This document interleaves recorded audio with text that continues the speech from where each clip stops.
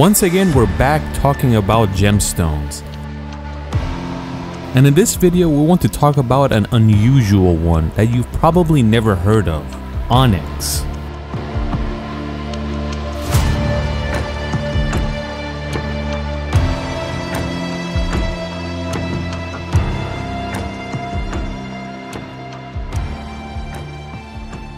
Like a lot of gemstones, onyx is made of silicon dioxide, so it's considered a silicate. And just like a lot of other gemstones, it has plenty of different colors. But the most valuable one and the somewhat rare ones are black and white. A lot of gemstones like opal are more valuable when they're darker, and onyx is pretty much the same thing. But the most valuable ones out of all of them are the black ones with beautiful white lines, but the design is the main selling point. These black and white or pure black onyx are just called onyx, but once they are orange or other colors that resemble a brownish reddish color, they're called a sard onyx. and sard means the color between orange and red, so somewhat brown like this. The first place in history that used onyx as a jewelry was in ancient Egypt. And many years later, when the Roman Empire took over Egypt, they really liked this stone and they also started using it as a jewelry. This is one of the oldest survivors that was made by onyx. This was made in the year 66 AD in the Roman Empire, which still remains to this day. As you know, back in the day, even to this day, there's a lot of beliefs with gemstones and how they make you feel. One of the beliefs that many cultures have about onyx is that it captures negative energy. So if you have it on you or in your house, it captures the negative energy and it doesn't allow you to receive it. We're not sure if any of this is actually true, but if it makes the person feel better, that's all that matters. Because at the end of the day, it's just how you feel. And if it makes you feel more positive, then it doesn't hurt anyone. Anytime you go to different flea markets or any other market where jewelry or stones are being sold, most of the time the precious black stones are sold as onyx even though most of that is not true, but they still label it as onyx to sell it easier.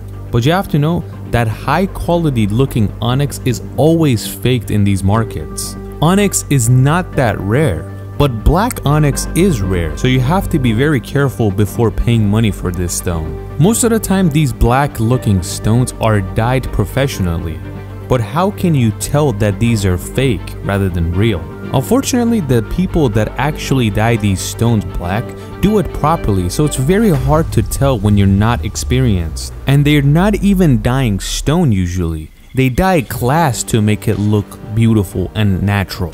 If you know what you're looking at, you could use a magnifying glass to see what you're looking at. If there's bubbles inside the stone, that means it's made out of glass and it's a fake. And also, the black color has to be natural looking.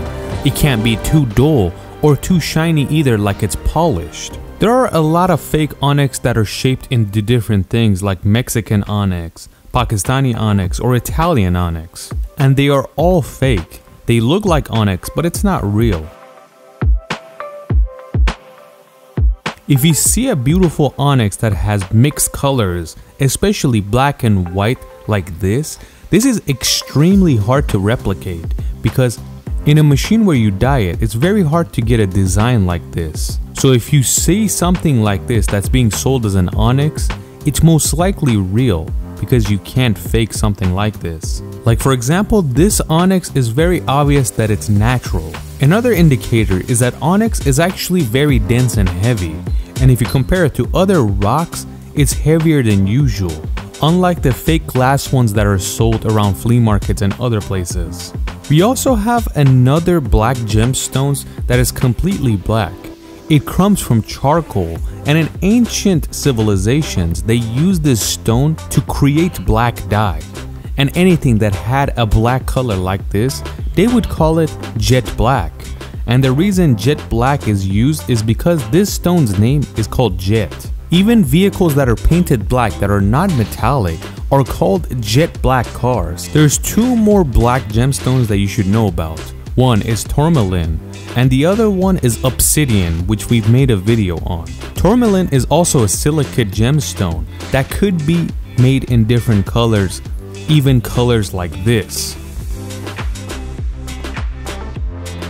Just like we said, onyx is not a rare gemstone, but the best ones are found in the United States and Brazil. But you can also find them in many different countries. Countries like Greece, Yemen, Germany, India, Madagascar, and even England. Another old onyx that was carved is between the battle between Shapur I, the Persian king, versus Valerian. And if you know Persian Roman war history, you know that Valerian was heavily defeated.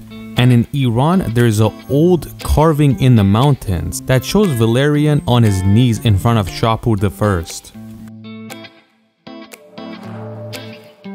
As you know, it's very rare to find black eyes. Scientists believe that nobody has pure black eyes, but they have extremely dark brown which may look black to us.